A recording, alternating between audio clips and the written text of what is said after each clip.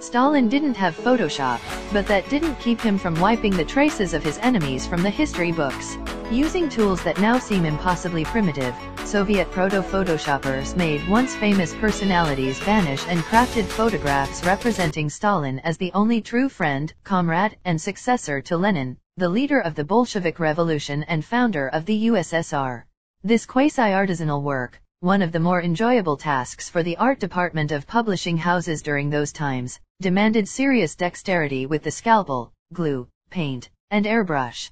In this manner, Stalin could order written out of history such comrades he ultimately deemed disloyal, and who usually wound up executed as. Sometimes, Stalin inserted himself in photos at key moments in history or had photo technicians make him look taller or more handsome.